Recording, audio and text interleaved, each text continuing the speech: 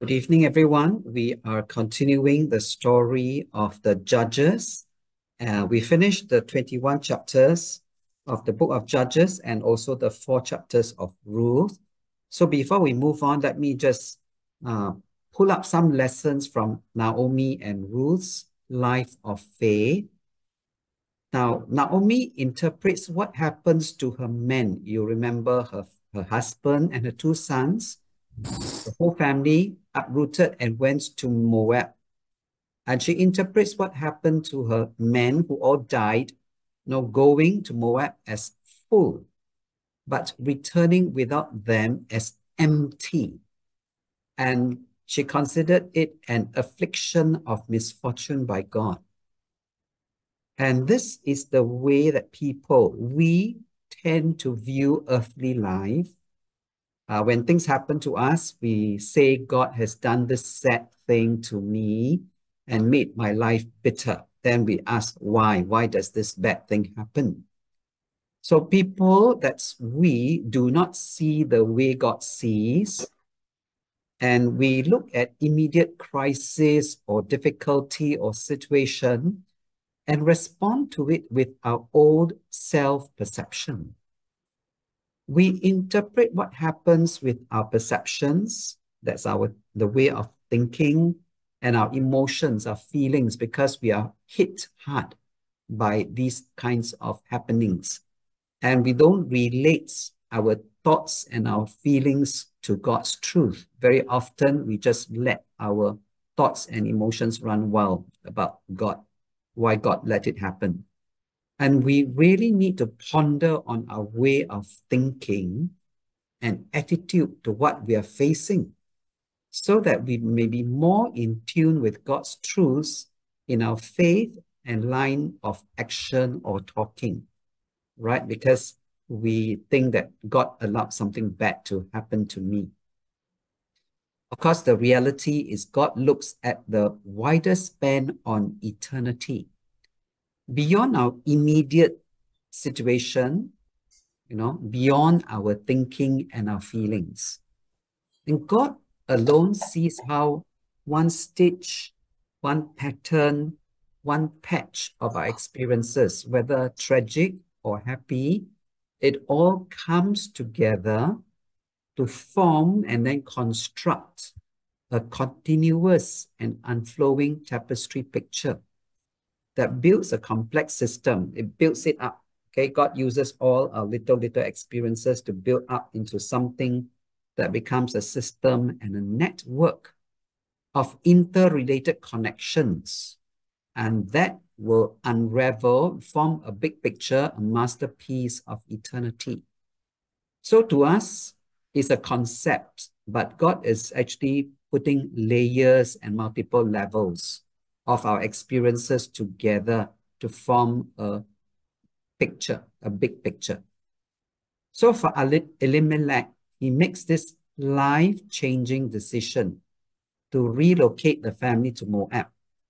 At uh, in Ruth chapter 1, chapter 1, verse 1, he actually intended it to be for a while. They were going to Moab just for a while. But it turns out to be a never to return journey for him and his sons, which shows that our plans can turn out differently from what we have in mind. Yeah, they have a plan to stay in Moab for a while, but all the men never return. During the time that they're there, Mahlon meets Mary's and brings Ruth into the family. And then brother Chilion does the same with Orpah. Then we see the family live the witness of a godly people.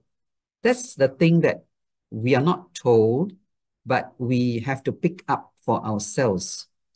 Because Orpah and Ruth, they are blessed with their husbands and mother-in-law's testimony of love and care. They are blessed by this family they marry into. So when the men are removed from the picture, they die. And sometimes we can ask this question, is dying necessarily a bad thing? So what happens after the men are gone is that Ruth chooses to respond with a commitment to the family that's left and the Lord. And so, you know, it, it's a, a good kind of situation and a good kind of relationship for us to think about application for ourselves, our own experiences. For example, Christian husbands, we can put in the wives as well. For in this case, Mahlon and his brother Chilion, Christian husbands or godly husbands. What does the testimony of your active relationship with each other, with your wife, you know, show to others about your faith and your practice? So Mahlon, Mahlon and Chilion must have, together with their mother-in-law, uh, shown the equivalent of a Christian life, a Christian character. Because Ruth chooses to respond, you know, when he, when Naomi wants to go back to Israel, go back to Bethlehem, choose Ruth chooses to make a commitment to go with her.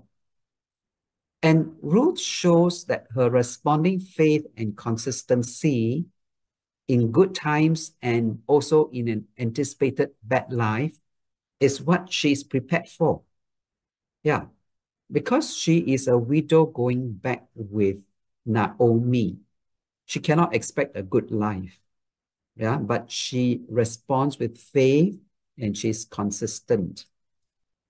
Then for Orpah, though she has been blessed with their testimony and loves them, she does not go that further step to choose to be committed to the Lord. In a way, it's a picture like you have a Christian family, yeah, and then you have the two wives. One wife chooses to be a Christian and make her commitment. The other wife, uh, Orpah, enjoys their testimony as Christian, but she doesn't choose to be committed to God herself.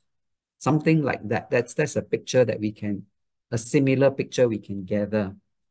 But Ruth proves the genuineness of her faith.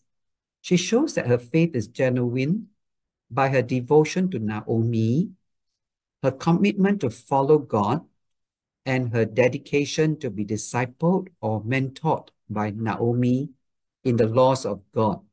And that's in the words that she said uh, in chapter 1, verse 16 and 17. She told Naomi, Don't urge me to leave you or to turn back from you. Where you go, I will go. Where you stay, I will stay. Your people will be my people, and your God, my God. So she makes a commitment to follow God. Where you die, I will die, and there I will be buried. May the Lord deal with me, be it ever so severely, if anything but death separates you and me. So she showed her dedication to follow Naomi, okay, and to follow God. And then later on, we see the genuineness of her faith through her marriage to Boaz, according to the law of the kinsman redeemer. This is all in the story of the book of Ruth. And you can see that she does not choose to live selfishly for herself.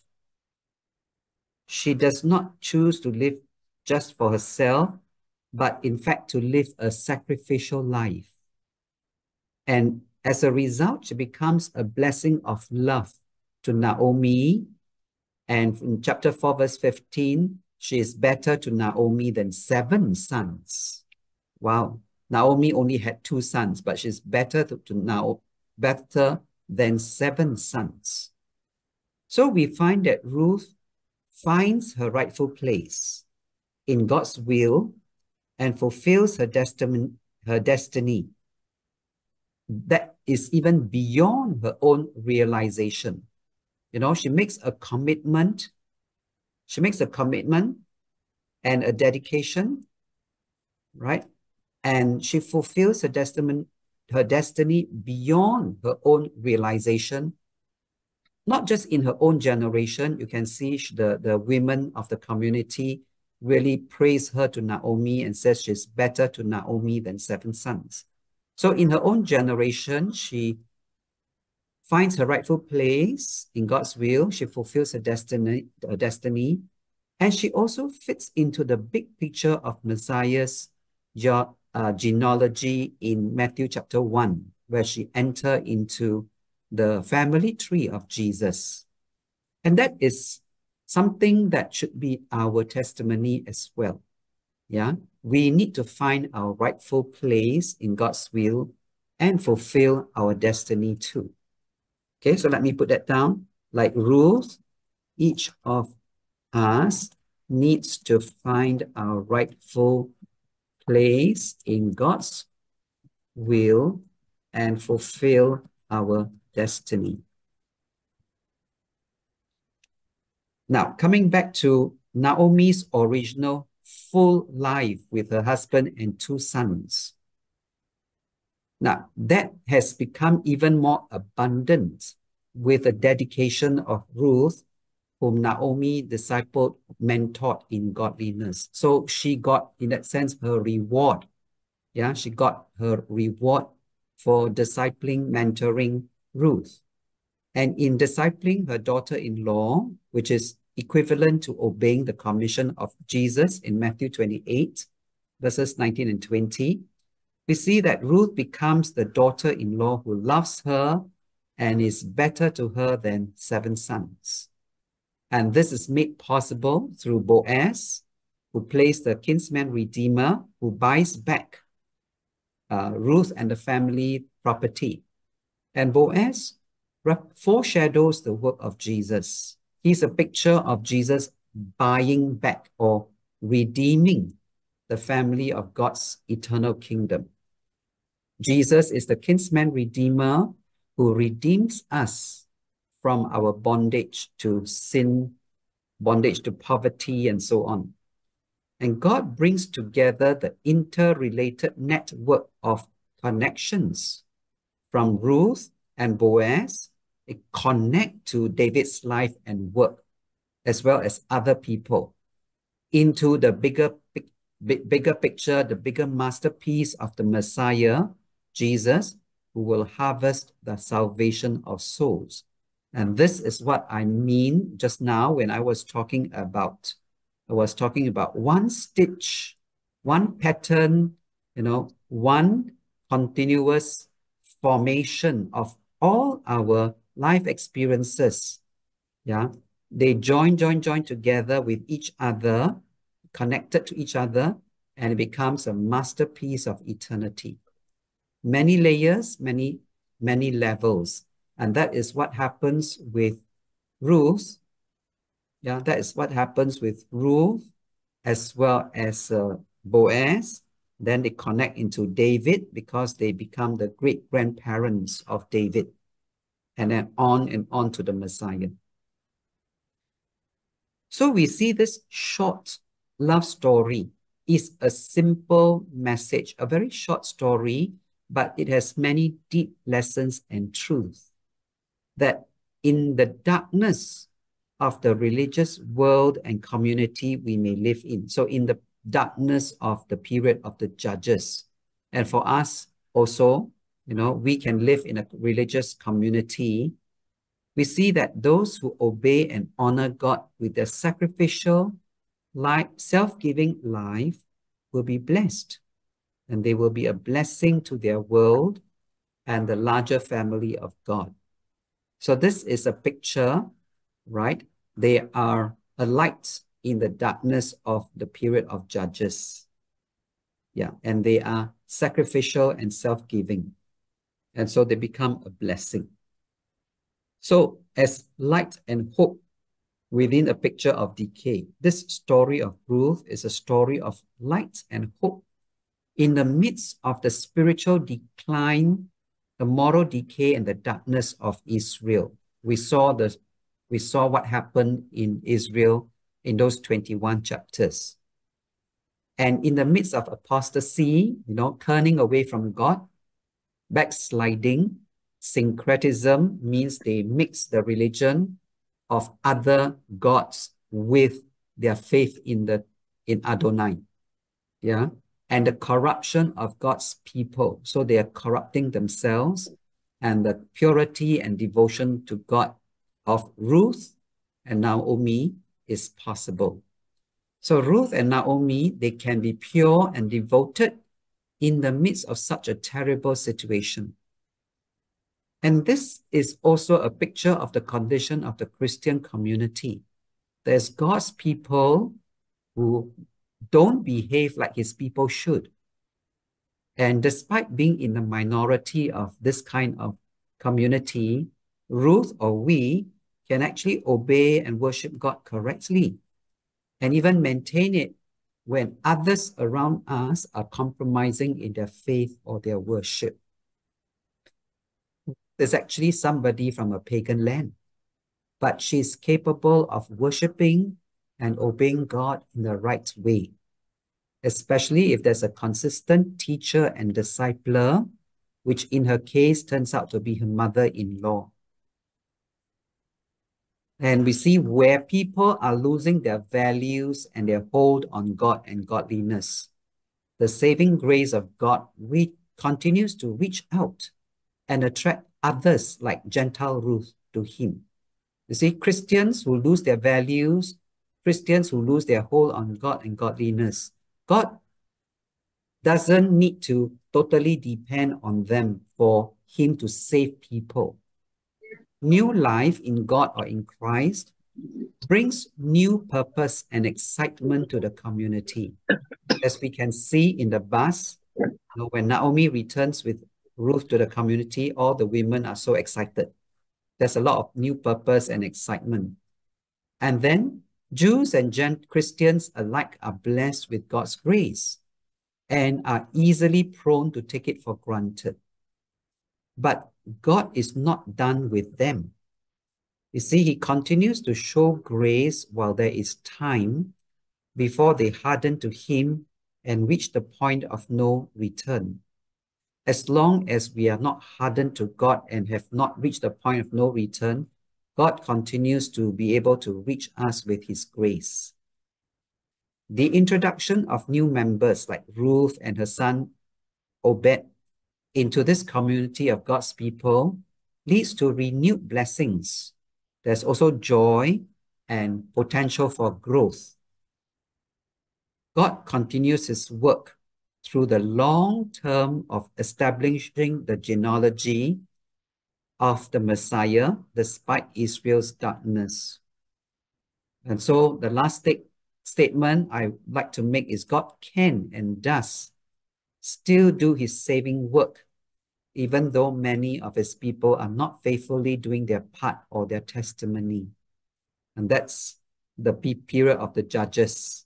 Yeah, God still saves people like Ruth because of minority like uh, Naomi.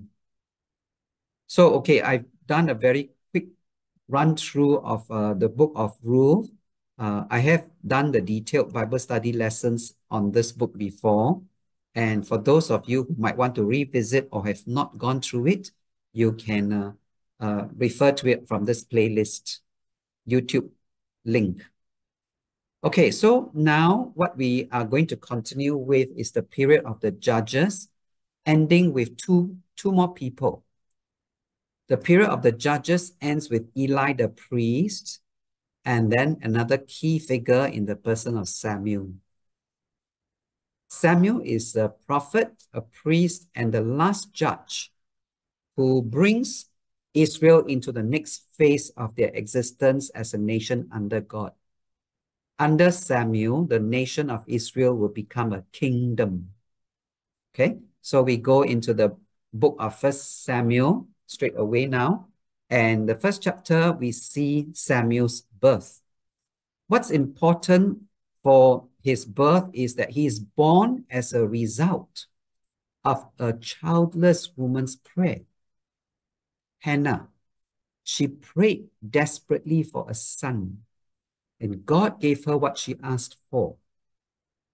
In short, Samuel's existence comes about as a combination of a woman's desire and God's will and purpose.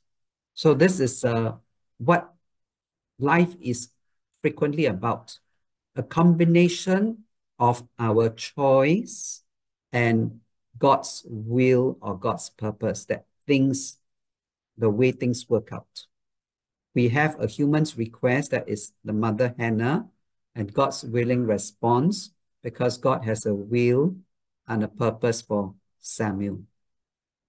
And Hannah, in gratitude for having the son, she gives the son back to the Lord to serve him. That's what we're going to see in the first chapter.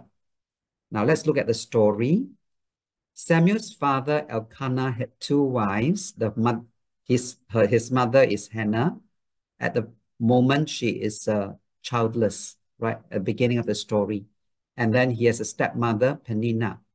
Peninnah had children. Year after year, when they went to Shiloh to worship and sacrifice to God, Hannah's rival provoked her to irritate her because she had no children. She was childless. And so Hannah prayed to the Lord for a son, promising to give him to the Lord for all the days of his life. We see before Samuel is born, his mother Hannah is the childless wife to a man with two wives.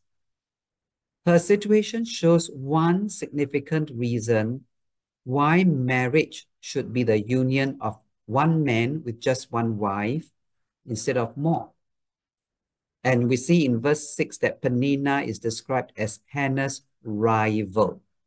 Now, what comes to mind when we think of the word rival?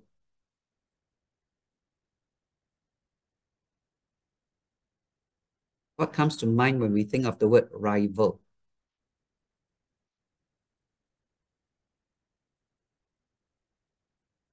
Anybody would like to? Competitor. Thank you. Competitor, right. So the Elkanah actually marries two wives who are competing with each other. Hannah's rival, she is competing with Hannah. See, the man's attention and resources are divided between two wives. Yeah. And wives and the children become competitors, especially if there is jealousy and rivalry through coming from two or even more different wives and loyalties. And if there's no harmony between the wives, they divide the family instead of being one. Then the husband's attention also becomes divided because he has to take care of two families because there are two wives. So the story continues where Hannah prays for a son and God answered her prayer and gave her a son whom she named Samuel. After he was weaned, she brought him to Eli the priest at the house of the Lord at Shiloh, and she gave Samuel to the Lord. And then Samuel worshipped the Lord there and ministered under Eli the priest. So he became an apprentice or trainee.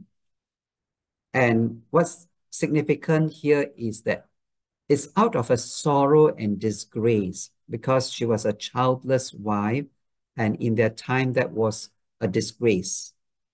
So Hannah longs and prays for a son. And Samuel's birth comes about as God's answer to her misery and her prayer. She honors her promise to God and then she gives him back to serve the Lord. And then under Eli's wings, Samuel receives spiritual supervision and he begins to worship God. It is important and necessary for individuals like Samuel to be properly guided spiritually to worship and serve God from their youth. So parents, this is also for us, the same lesson, yeah?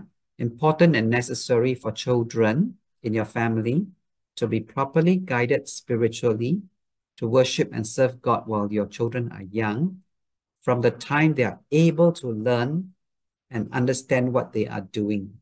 And don't think that they're too young to do it. Okay, they're never too young to do it. This happens even though, you know, Eli is able to supervise and teach Samuel to worship God. This happens even though Eli's own personal and family life are in a shambles wow, this is, you know, may come as a surprise that Eli's own personal and family life are in a terrible state spiritually, but he is still able to guide Samuel to worship and serve God. He supervises Samuel successfully, right? But don't forget that Samuel also has a part. He also has a choice. And the credit is Samuel's own responsive heart. Okay, so that's something important to recognize. He can be terrible at it in his own personal life, but he is able to bring Samuel up successfully in the early years because Samuel is the one who chooses to have a responsive heart. Now, Eli's own heart is not responsive to God. He just knows what should be done. So he knows the theory. He knows what should be uh, the spiritual life, what should the spiritual life be like. But his heart is not responsive to God, and he and his family will suffer for it. Now, a caution to be aware that we may serve God in working with others, but we still need to be mindful and responsible for our own personal and family spiritual condition. And, and that is uh, sadly, sad to say, that is the truth with many pastors' families. Yeah, many pastors' families. They are very dedicated. They serve God in working with their, with their flock with their church members. But then, you know, their own personal and spiritual, uh, family spiritual condition is quite uh, sad because the family, the children are not, not truly God worshippers themselves, right? But the pastor uh, serves God to help other people to worship God. So it's a very sad state, but it is a true thing. We see it in Eli, right? And we can see it also in our generation among pastors. So that is chapter one, the, uh, the background to Samuel's birth and his family situation, and also a little bit of Eli's family. Then we move on to chapters two and three, and this is where we see a contrast of godliness a contrast of godliness. Here in these two chapters, we see the story of how Eli's sons, they serve as priests and they contrast with the calling and ministry of Samuel. Now, Eli's sons show how they may appear to be serving God, but they are actually serving their own carnal appetites. They as priests, they show contempt for God. Samuel, on the other hand, is responsible with the word and the work of God that is entrusted to him even from a young age. So he has a teachable heart, but not Eli's sons. And basic teacher is the same, Eli. One is the father and one is the mentor we see that Eli's sons were wicked priests. So the Bible itself calls them wicked with no regard for the Lord. And they forcefully took the meat of worshippers for themselves before the fat was burned up in offering to God. Now, what we can see from here is that Eli's sons have grown familiar with the things of God. Now we get too uh, used to things that we do in our in our church, in our Christian setting, we get so familiar that we take for granted. Yeah, and we show contempt. Yeah, so they take God for granted and they serve in their ministry as priests with a sense of entitlement. Yeah, belongs to them. So you see, they forcefully took the meat of worshippers for themselves. They have a sense of entitlement. This is my right, my share. And nothing dramatic or drastic happens to them. You know, there's no lightning to strike them dead. And God does not appear to do anything to them. And so they become bold. They become very daring. They don't fear God. They also become daring with worshippers and they take what is allocated to them as well as what should rightfully be offered to God. Remember that Leviticus 3.16 tells us that all the fat is the Lord's, but they just, if they pick up the fat for themselves, they will just keep it and forget about God. No respect for God. They show contempt. And this situation is not unnoticed. Eli knew. Eli knew what they were doing. He also knew they were sleeping with the women serving at the entrance to the tent of meeting. So they turned the women into prostitutes. Very sad case. See, spiritually, this is the period of the judges. And with priests like that, you know, what hope is there for the teaching of God? Yeah. So though Eli rebuked the sons, they did not listen to his rebuke because they had reached the point where they have no more uh, chance. You, if you remember the time of Noah, uh, sorry, not Noah, Moses and Pharaoh, the point when Pharaoh's heart was so hard that he just could not repent. And in this case, the same thing happened for the two sons of Eli, the priests, and it was the Lord's will to put them to death. So we can be so hardened to God with our sin, we don't listen, and it reaches the point where God says, enough is enough. These people will die for their sin. And so this is one of the incidents where the Bible makes it clear that someone who serves God in the office of priest or a minister, so can be a pastor in our in our in our modern context. Yeah, it's so wicked and hardened. Okay, can be a leader, can be a pastor, become so wicked and hardened, they will not allow themselves to respond to rebuke and correction.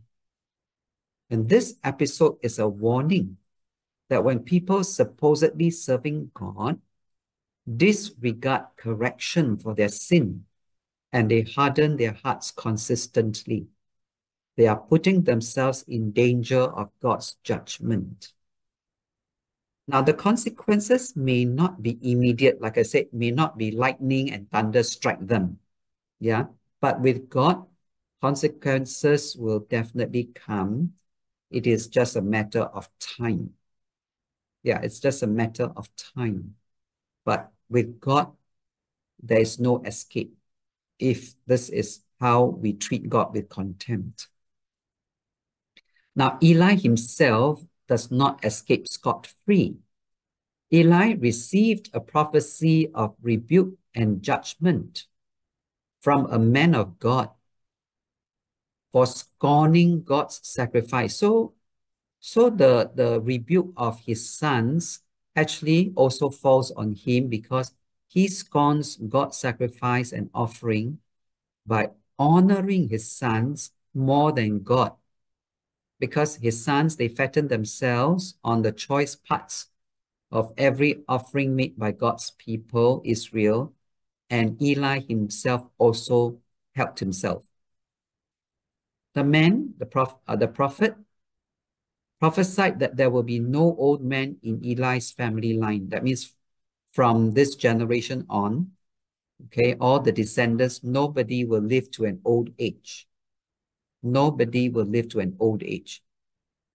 Hophni and Phinehas will die will, while God will raise a faithful priest to minister before God's anointed one always. So that is a prophecy of doom for Eli's uh, family. And we learn that Eli does his work as priest, but failed in his duty as father to his sons. You see, he rebuked his sons, but his actions are inconsistent with what he told them. Yeah, his rebuke and his actions somehow don't match. He tells his sons what they have been doing is wrong, but then he joins them in eating the share that they snatched from God.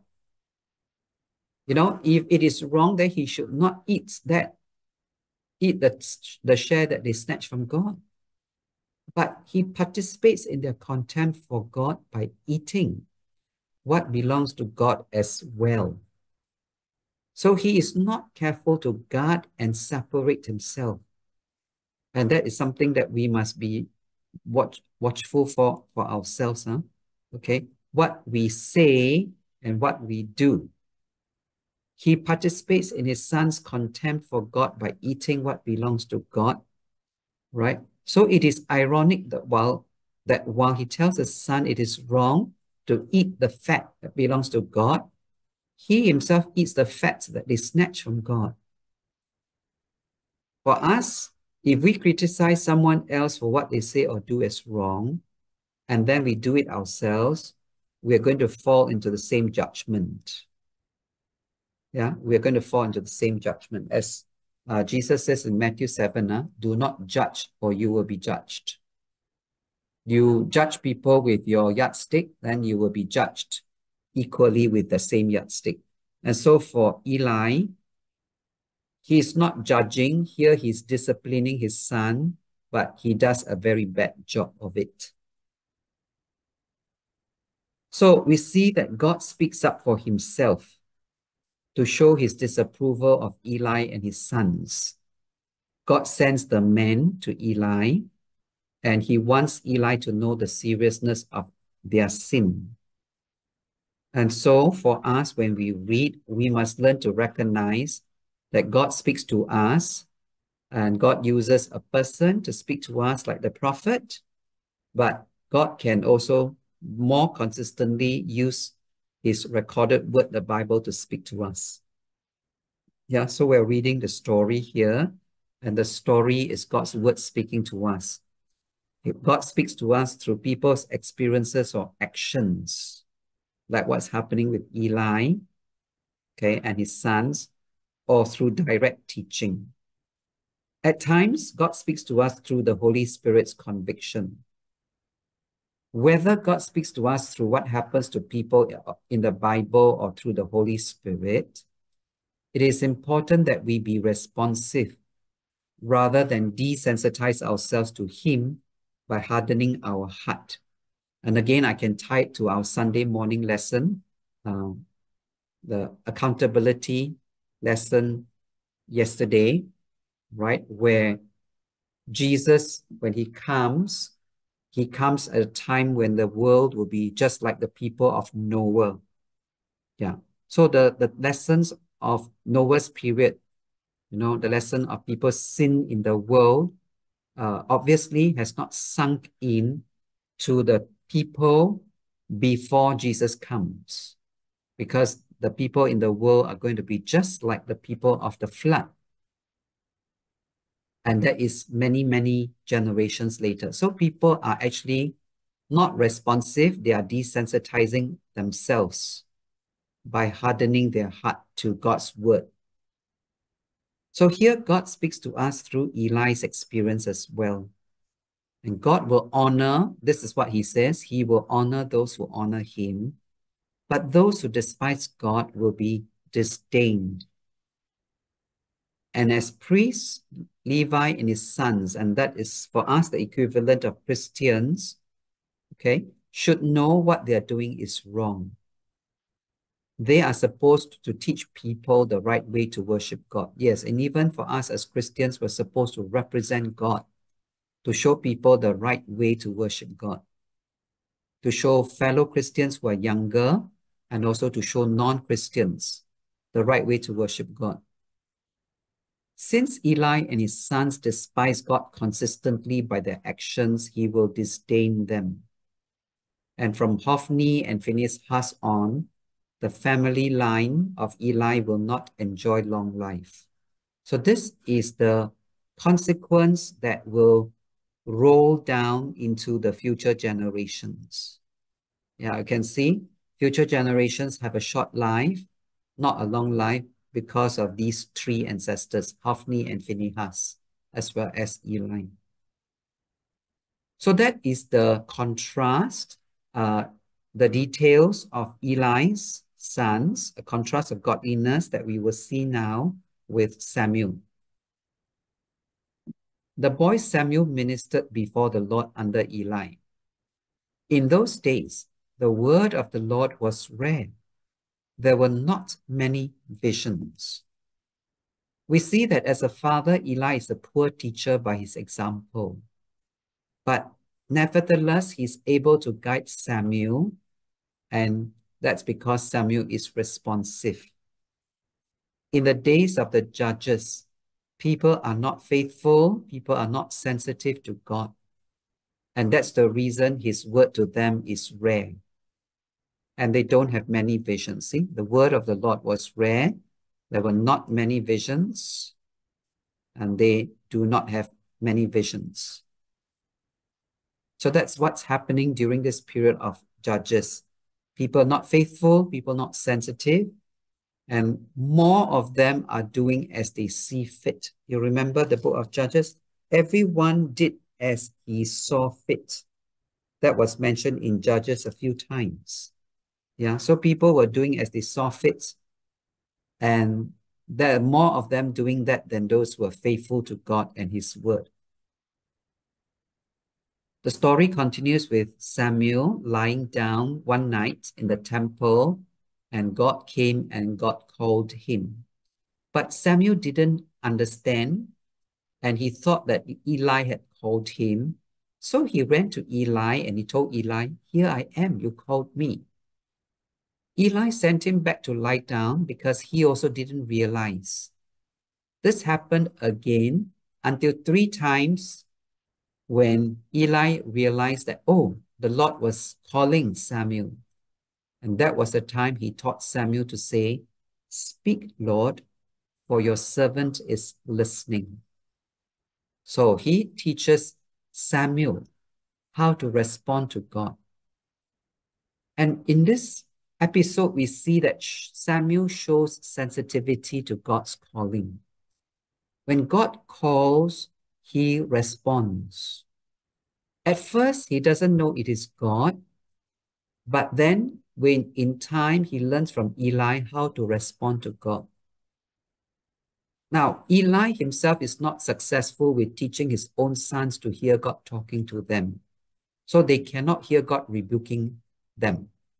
Yeah. So cannot hear God talking to them or rebuking them. You know, sometimes we read the Bible, we cannot we cannot pick up that God is rebuking us in the Bible. Yeah, we, we cannot, we're not sensitive, we're not responsive, so we cannot pick up that God is rebuking us because we don't make ourselves responsive and willing enough to listen. So instead of learning to hear God, they learn to take advantage of their position as priests to snatch God's offerings. That, that's referring to the fat that they want from the worshippers. They hunger to feed their carnal appetite rather than the spiritual appetite for God and his concerns. You know, we are supposed to, First Peter 2, 2, right? Like newborn babies crave pure spiritual milk, but they don't. They crave carnal food. And there is more of their old self active in them than the life of God's Spirit. And so it is important for us to hear God speaking to us through various means. Okay? God, just now we explored, God can speak to us through different ways, through people, through the Bible, through the Holy Spirit, and within the Bible, uh, God can speak to us through people's experiences. God can speak to us through commands. Yeah. So there are various ways God can speak to us. And the necessary response is what Samuel did. Invite God to speak, Lord, for your servant is listening. Yeah, so it's important. We want to hear from God. We want to know what the Bible says. Then it's important to invite God to speak and for God to soften our hearts. And then we have a posture of listening a spiritual posture of listening. So the Lord told Samuel something he would do that will make the ears of everyone who heard of it tingle. So the popping of the ears, huh? that he told Samuel he would judge Eli's family forever. Because of the sin, he knew that his sons made themselves contempt, contemptible, and he failed to restrain them. So we see the Lord does not make known his, sorry, the Lord does make known his plans to men. Yeah, in this case, Samuel. Samuel is privileged to know what God intends to do about the family line of Eli. On his part, Eli has not brought up his sons in the way they should go.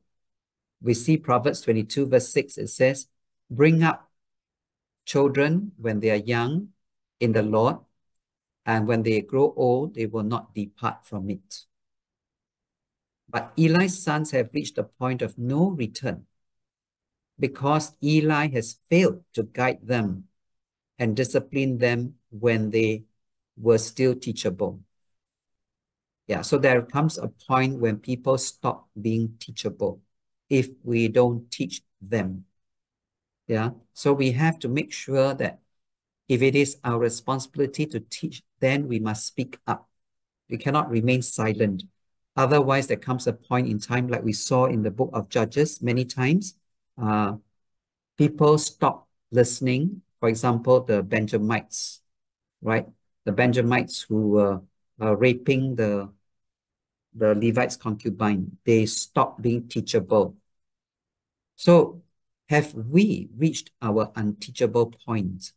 The time when we hear, but we no longer have any application life response or change. Yeah. So Samuel needs to be able to handle, that's the next thing. Huh? Samuel needs to be able to handle the knowledge about his trainer, his mentor. Can you imagine you, this person is your spiritual teacher or your spiritual parent, and then you hear all the terrible things about your spiritual parent or your mentor. Are you going to lose your faith? Are you going to backslide? We tend to hold people in high profile with great regard. Yeah, so those mm-hmm. big names in the in the Christian community, we hold them with high regard because we have high expectations of them. They are so anointed and they are so uh, big name yeah, big guns. And oftentimes, when such people prove to be idols of play feet, and they fall short of expectations, so they disappoint people because they are shown to suddenly uh, be doing the wrong things. Then people who look up to and respect them backslide and even lose faith. So for Samuel, he needs to be able to handle the knowledge about Eli. You know, Eli has been training and teaching him. Does he now look down on Eli and say, Eli, I despise you because you are like that? Okay, I lose my faith. Now, Samuel continues to relate to Eli as his teacher without losing, losing respect for him or losing faith for himself. Okay, so this is the healthy response from Samuel He continues to respond correctly, he shows that his saving faith is rightly anchored in God. So that when his teacher, mentor Eli proves to be a failure in his own life, Samuel continues to remain steadfast. So, continue the story. The Lord was with Samuel as he grew up and all Israel recognized Samuel as a prophet. The Lord continued to appear at Shiloh and revealed himself to Samuel through his word. So earlier on, when we saw that the word of the Lord was rare and there were not many visions, now the picture turns around that the Lord continued to appear and reveal his word. Okay, so the opposite is happening because there is a Samuel. And we see through all these chapters here, the first part of First Samuel, we see that God uses mightily the son that Hannah asked for. Remember just now we, we talked about the birth of Samuel was an interaction. Yeah, the birth of Samuel was an interaction. Okay, comes about as a combination between a woman's desire or request and God's will and purpose. And God has a, a way to use Samuel to serve him. So now, okay, that was our introduction. And at this time, we see that at this time, we see that God uses the son that Hannah asked for in a mighty way. Growing up, Samuel distinguishes himself by his consistent relationship with God. Okay, he is he is uh, consistent in his relationship with God, and that is where God is able to use him as God's mouthpiece. And so Samuel becomes a prophet.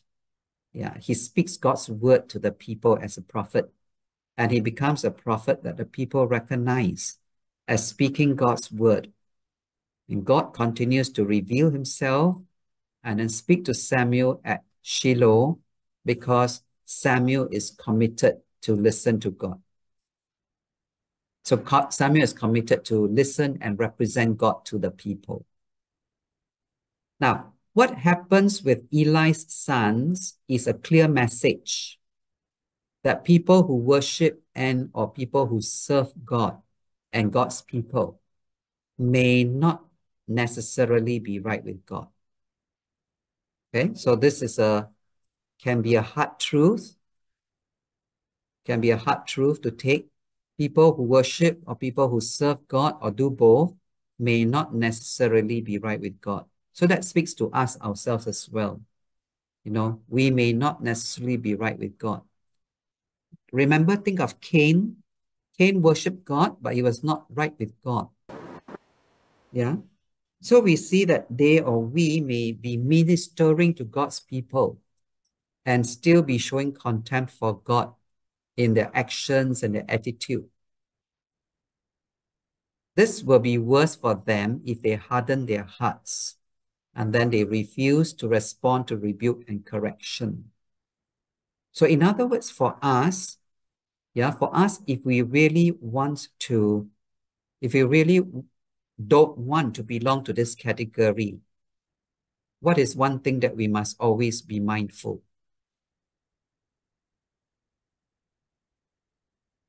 One thing we must always be mindful, yes? Our hearts? Yes, how to and how to ensure that our hearts are not hard.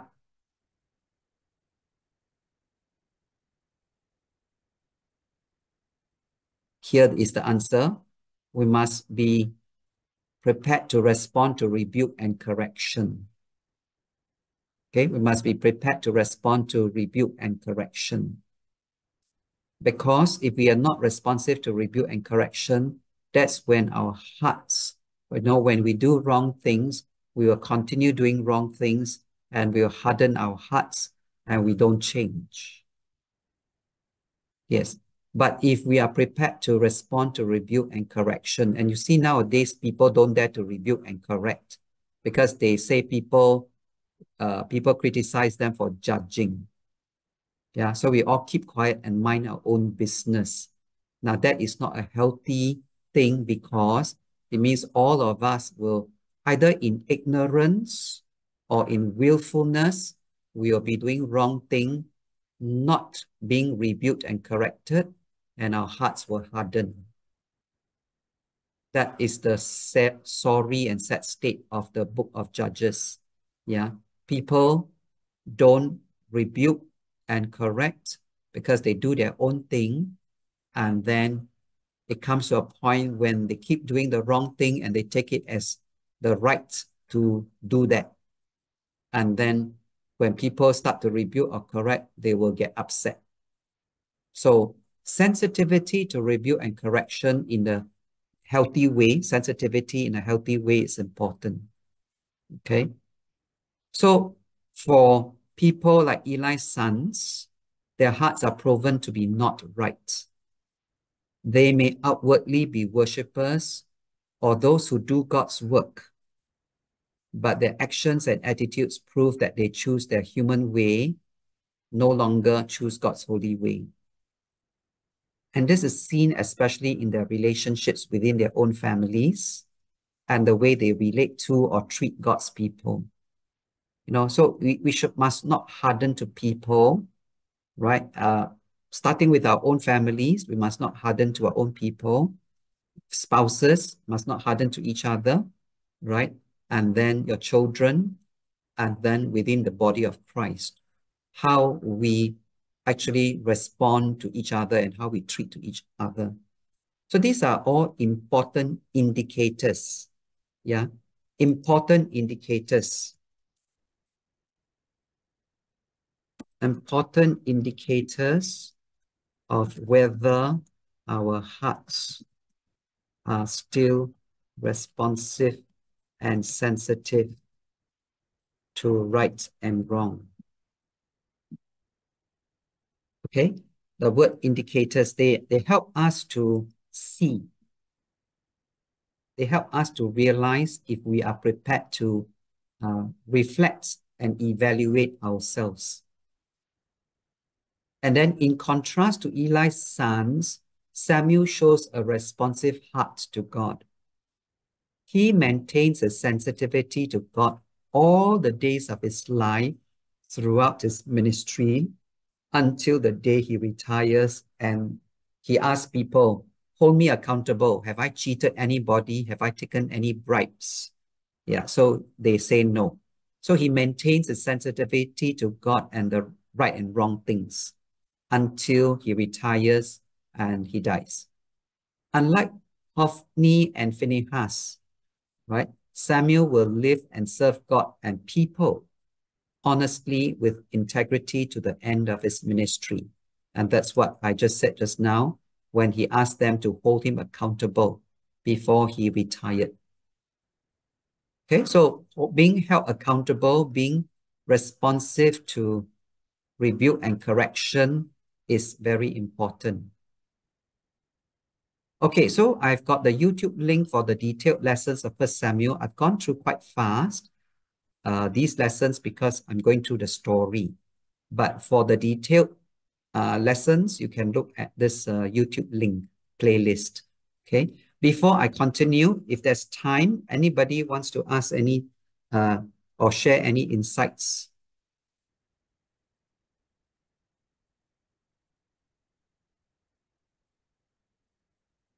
Okay, take a bit of time to think through and uh, gather your thoughts.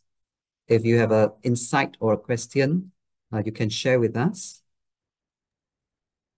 Did Samuel's sons, were they faithful to the Lord or were they also a little bit deviating?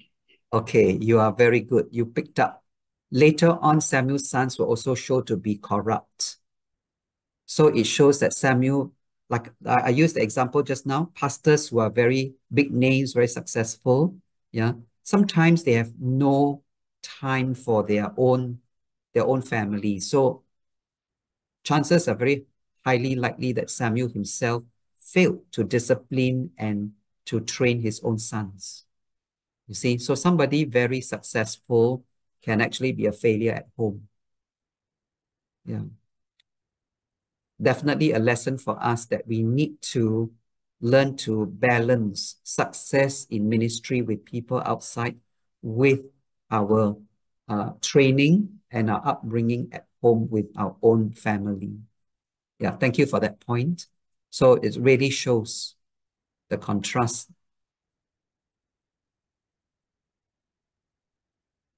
Anybody else has insight question or something to share?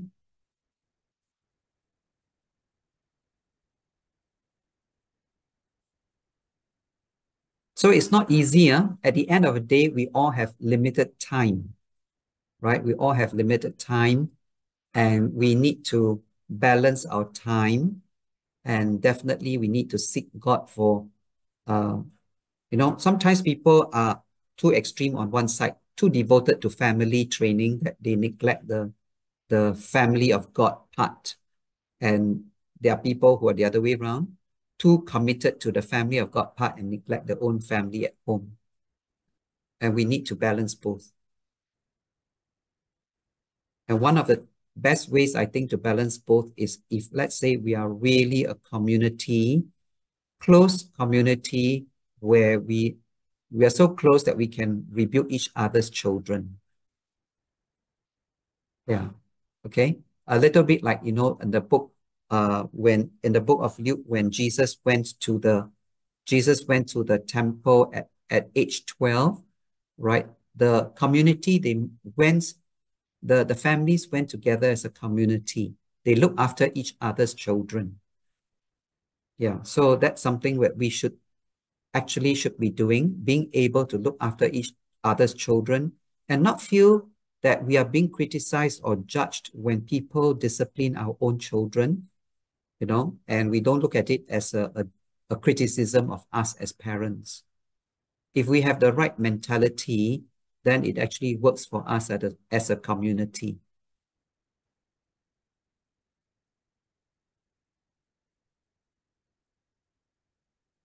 Okay, if no, then I will probably have just enough time to do the next part. Anybody has anything to ask or? If not, uh, I will probably have just enough time to do the next part. Okay, if not, I will just continue with the next three chapters. First Samuel 4 to 6, the loss and the return of the ark of God. At one point, the story makes during the era of the judges is that when God's people fail to honor his glory, God can take care of himself. Right? But for the people, when they fail, they suffer consequences for their disregard for God. So it's it's important for us not to think, oh, God can take care of himself, so let me not bother. Right? We will suffer consequences. So Israel, the story has Israel fighting the Philistines and was defeated.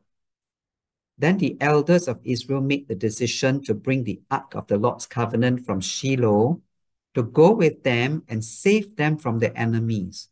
You see, they have the wrong understanding that the Ark, the Ark of the Lord will save them from their enemies. This is a serious theological mistake serious wrong understanding of God. The Israelites are defeated at the hands of the Philistines, and the Israelites realize it is because God is not fighting with them to give them the victory. And they think that it is because they didn't bring the ark to war with them. So they send for the ark of God to come to the war, war zone. And the situation shows their wrong understanding between the things of God and God Himself. Yeah. The ark is something of God, but the ark is not God. Yeah. So they don't understand the things of God and the separation from God Himself. God is separate from the things of God.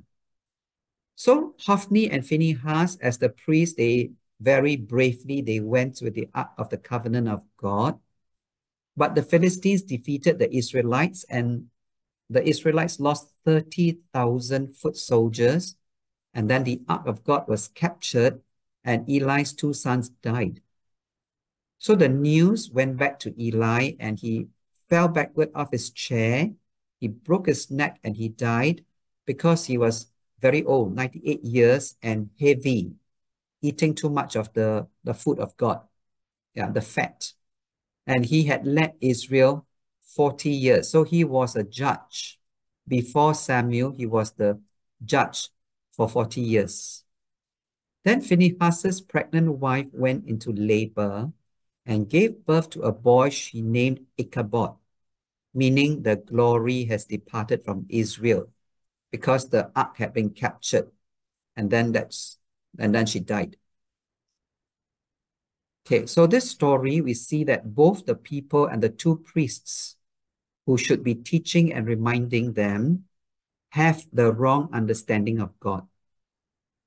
Okay, you so this is the wrong belief or the wrong theology we may have. They think it is the ark that gives them victory. They think with the ark present, God will help them defeat the Philistines.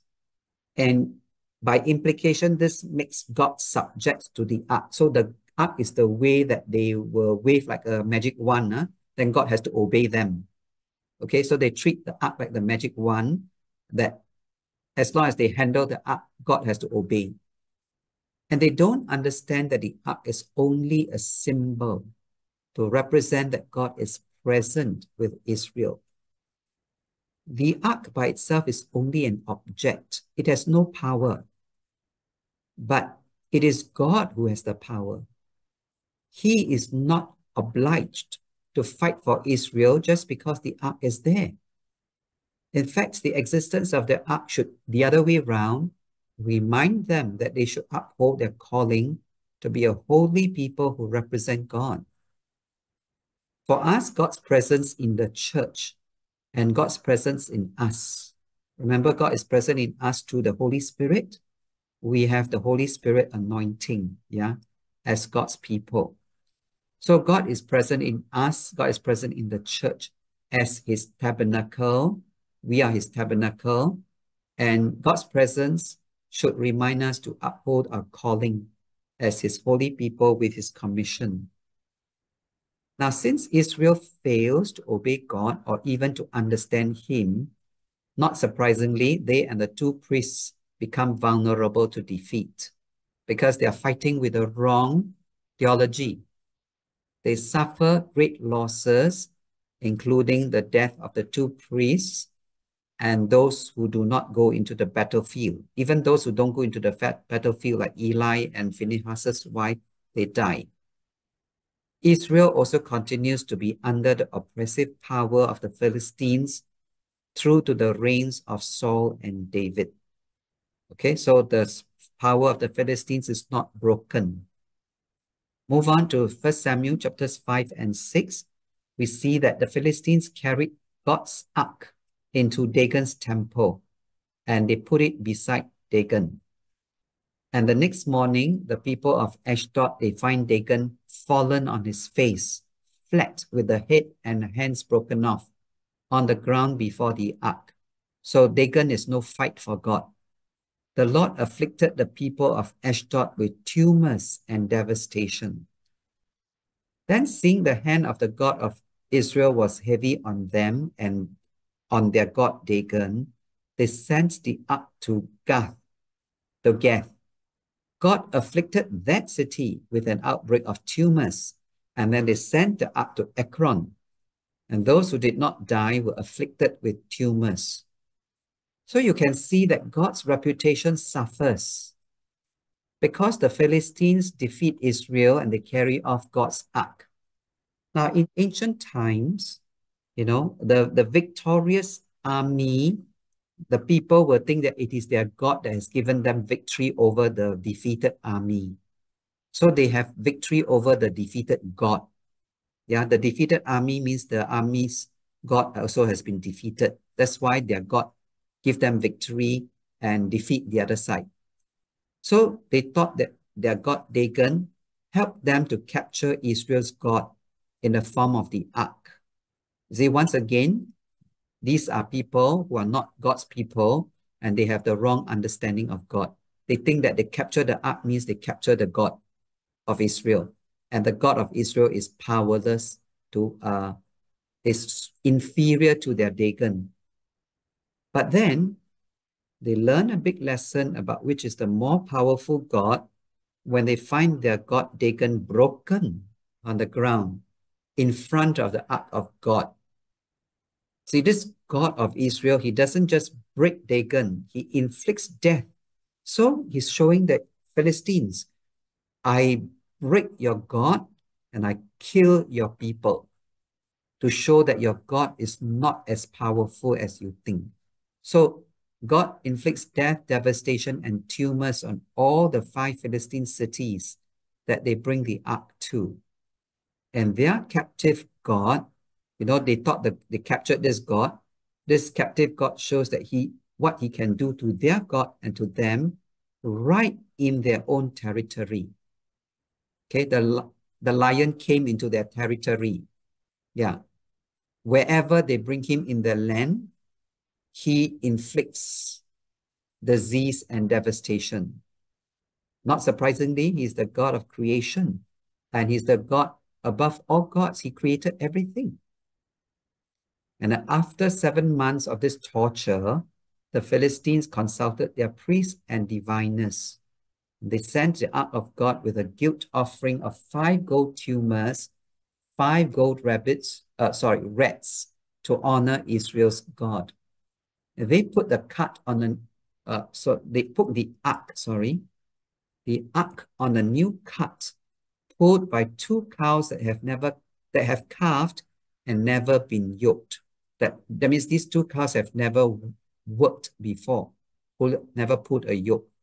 And then the cows went straight up to Beth Shemesh without turning right or left.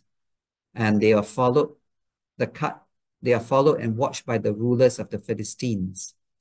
And the people of Beth Shemesh were harvesting wheat when they saw the returning ark. And then they rejoiced and chopped up the wood of the cut to sacrifice the cows to the Lord. So, with seven months, the Philistines could see that they were helpless against the God of Israel. And they had to find out how to appease this God and get rid of him from their homeland. And they followed the instructions of their priests and diviners to honor Israel's God so that he will lift his hand from them, from their gods and their land. Their religious leaders advise them, don't harden your hearts. Again, you see, sensitivity, don't harden your hearts. Even the, even the other non-believers of God realize, don't harden their hearts, like the Egyptians and Pharaoh did. They show that they have knowledge of God's salvation. So you see, people have a right knowledge and a, also a wrong knowledge of God. Yeah, that's the thing. People have a rojak of right and wrong knowledge of God. So they show that they have knowledge of God's salvation in saving the Israelites from the bondage of Egypt. And the mighty works of God are known far and wide. People have knowledge of God. People are not ignorant of God's salvation power and work. So the problem is not a lack of the knowledge of God and what God does. The true problem is a lack of response. Okay? True problem is a lack of response and especially repentance to turn to God, His truth, and His ways. So this is the reality of people, including people who serve in ministry, but who are kind of like uh, not, not in God's good, good books. Yeah. The problem is their lack of response and lack of repentance to God and what he says to us. And so for the Philistines, God convinces them that he is the one behind everything that happened to them after his ark was brought to their Philistine cities. He shows that the cows pulling the cart, he makes the cart, the cart go straight to the Levite town of Beth Shemesh back in Israel territory. And so he shows the Philistines that he is the God that they were suspecting but not sure. Now the leaders know for sure. So God struck down 70 men of Beth Shemesh for opening up the ark to look inside. And they told the people of Kiriath Jearim to take the ark away because, wow, this ark is terrible. Their own people also died. And then they took the ark to Abinadab's house where his son Eleazar was consecrated to guard it. And God shows that he is no respecter of person. He shows the Philistines he is powerful God. And then he also shows his own people who should know his command that they are not to treat his ark like any other ordinary object and just open up the ark and look inside.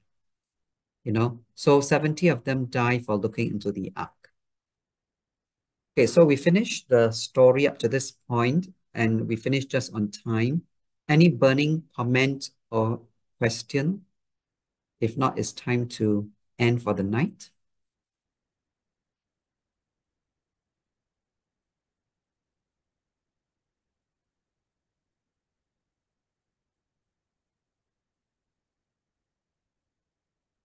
Anybody has any um, anything to share? Before we close for the night?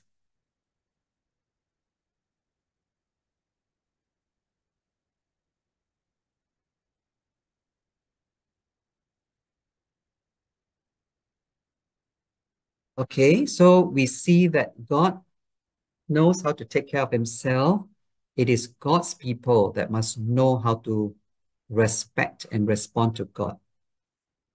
Okay, shall we pray? Heavenly Father, we thank you, God, that you are a good God. You show yourself to be holy, and you want your people to be holy too. And you have given us examples of what is right and what is wrong, uh, even among your people, in the persons of uh, Eli and his two sons, and also in the person of Samuel. We learn, Lord, that you speak for yourself and you don't just look at people's service and ministry. You also look at their attitudes and their sensitivity and their response when you rebuke them and when you correct them. Help us, O Lord, so that these are lessons that will teach and challenge us to be faithful to your word, to know your word well, as we can see that whether the Philistines or the Israelites, they do both the Israelites themselves also have wrong understanding of you in some ways especially your ark and the difference between your ark and you. So we pray, God, that we will be faithful to know your word and to stand firm on it, that it will guide and it will direct us. And very importantly, it will bring us life as we learn to respond to your word and to be sensitive to you, especially where we need to be rebuked and corrected. And we pray, Father, Lord, that more of us will minister to each other in this way so that we will all be a strong people of God who show that we care about each other and that we learn to trust each other the way we should as your family, your children. We pray and give you thanks for all these in the powerful, mighty name of Jesus. Amen.